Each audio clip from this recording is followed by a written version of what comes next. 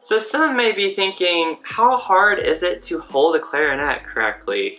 Well, apparently these pictures I'm about to show you make it very clear that it is difficult to hold. So if you are interested in playing clarinet, let me at least tell you how you should hold the clarinet as opposed to what you might Google and see online.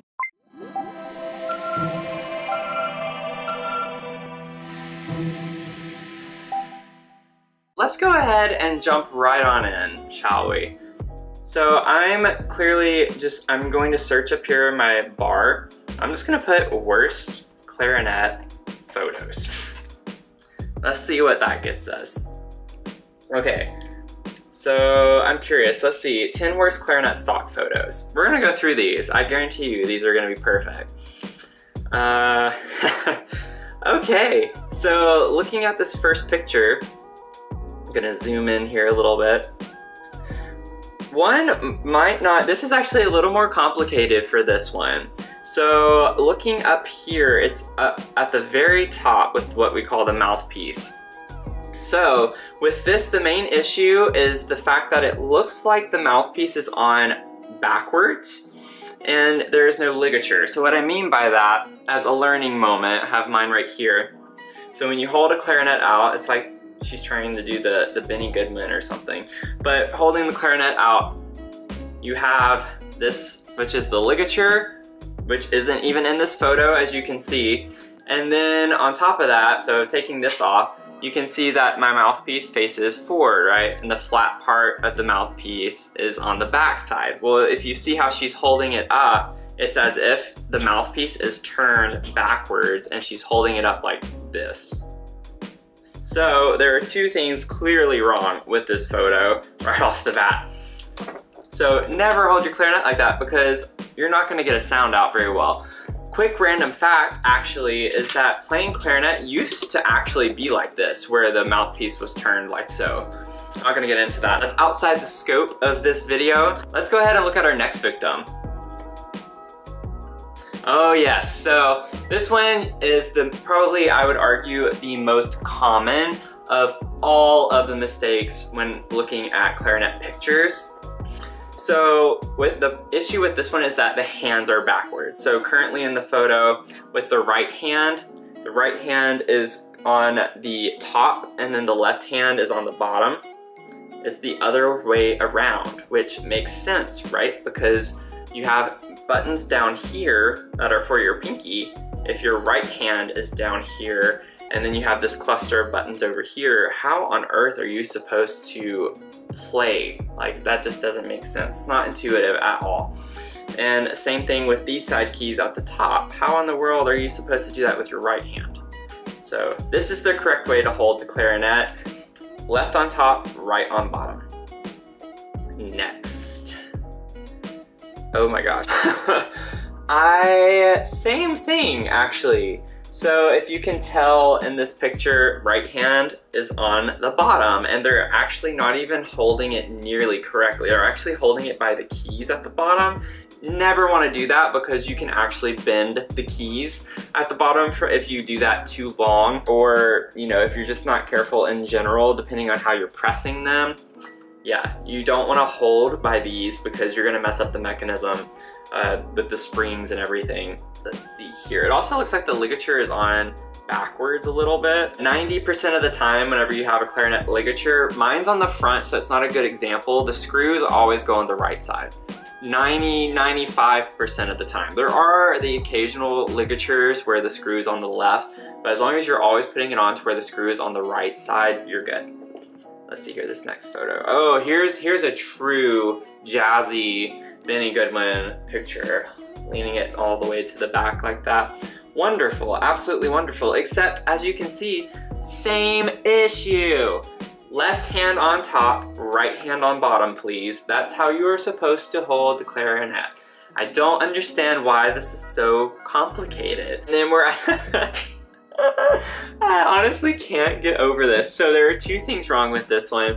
Obviously the same thing, right hands on top, right? But what we just talked about with the ligature, if you look really closely, ligature is on the left side, the screws are. it should be turned around. So essentially all you would need to do is take it off, flip it over, kind of um, right side up, as you might say. Okay, so all sorts of things wrong with this picture, but let's focus on the clarinet first of all. I am not meaning to throw shade, actually I really was. So with this one, there are a couple of other things that I'd like to touch on. So the left hand is not placed correctly.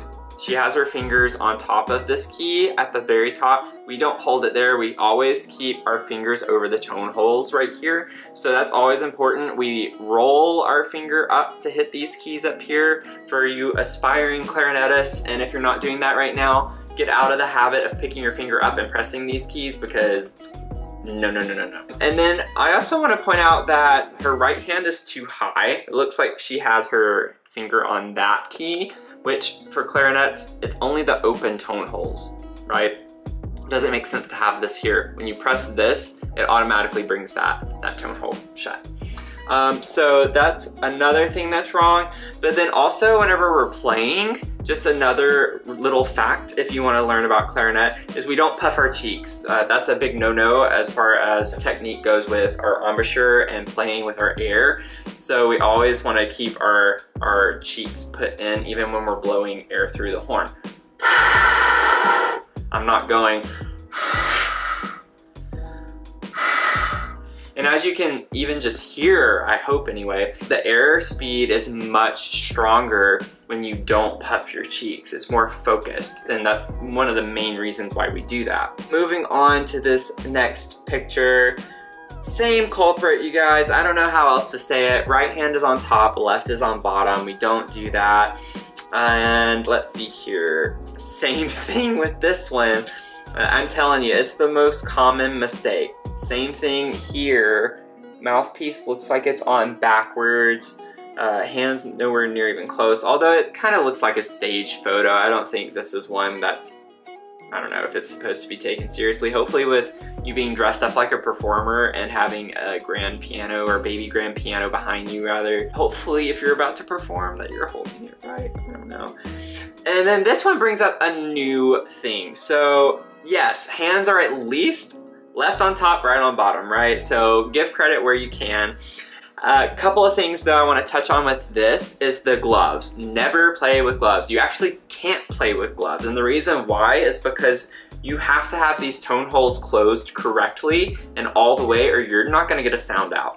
And so gloves actually hinder us closing our tone holes correctly. Uh, and then if you look at her right hand, I wanted to point this out because First of all, her pinky looks like it is down on this, which isn't even a key. Like, come on, it's not even a key.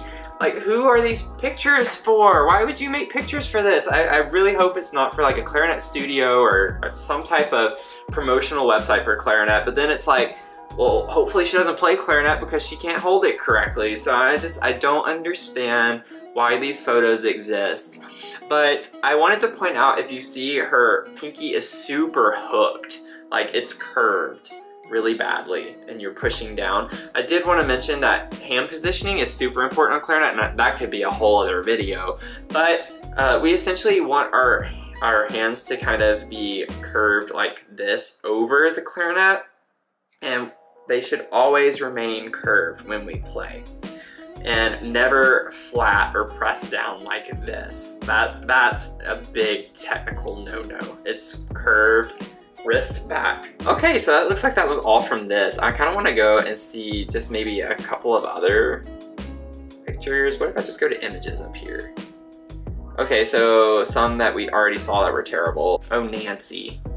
Nancy Grace, oh my goodness, sweetheart. This is Oh my gosh, I've never seen one this bad. This is crazy. It's sideways. I mean, it's, it's completely sideways. There's no fixing that. There's no fixing that. Yeah, I'm not even gonna touch that. Oh my goodness. So I somehow stumbled across this photo. And I, it is obviously supposed to be satirical, so I, I, don't expect anyone to have really done this, although I am sure there are people out there who have done this. I'm not gonna say it's never happened before, but yeah, don't ever put your clarinet around water.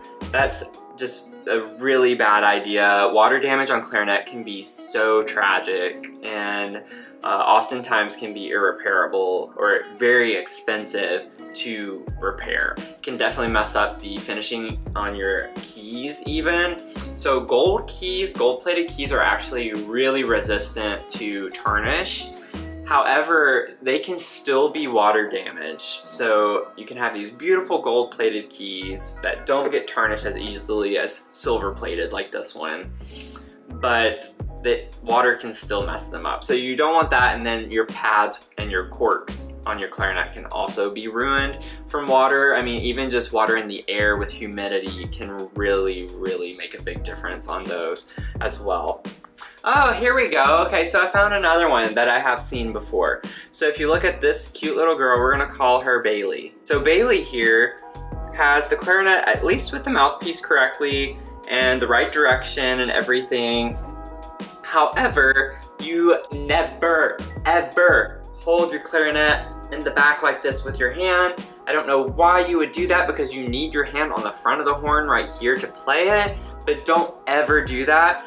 I'm telling you, I have seen these thumb rests break off so easily, so many times, even on my own horn it's happened. I remember my very first clarinet, I was holding it, it wasn't because I was holding it by the thumb rest, but I ended up, the bottom half came off of it. When I turned around really sharply, it just flew off and my thumb rest broke off of it. And ever since then, I always had issues um, with that clarinet in particular because the screws actually ended up stripping. So it, it was really hard to keep the screws in because it was completely stripped out. So yeah, big issue with that. So never hold your clarinet like this.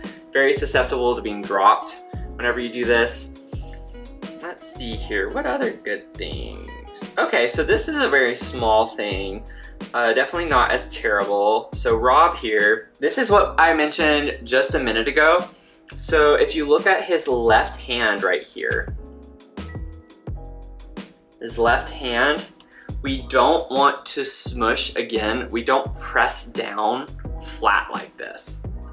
Our, our fingers should always be curved and the reason why is one, it helps cover the tone holes better.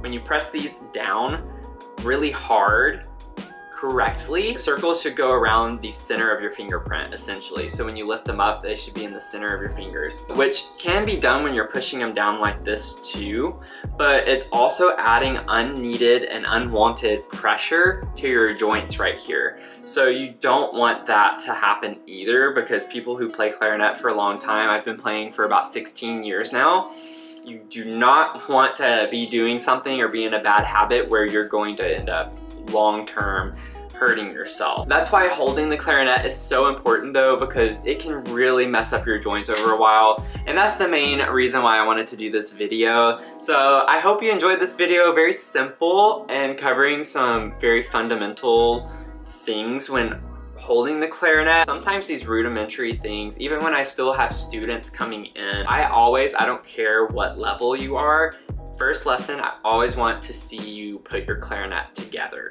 I always, almost always see things not done correctly, even just the direction and everything like that. So I might do a video coming up on putting the clarinet together. If you are new to playing clarinet, please comment below. Let me know if you learned anything new or things that you might want to learn. I'd love to put content out there. I want this new channel to be focused on uh, tutorials, reviews. I have some really fun reviews coming up. I actually bought a new barrel. I am going to try out a Fat Boy barrel and I'm just kind of not very pleased with the MOBA barrel right now and I made a video on my previous channel comparing my MOBA barrel to my regular Selmer barrel and so I am looking at doing a comparison video between the MOBA and the Fat Boy which I think will be interesting and then I also uh, do like quick little video, fun video clips of me playing on this channel and everything. I just really want it to be interactive and engaging and fun. I love meeting new people and I just want to really just do this for fun. If you stop by, thank you so much. Please make sure you subscribe to the channel if you want to know whenever I put a new video up and I would love to have you support my channel and have you be a part of my channel. So thank you all for watching this video and I'll see you in the next one.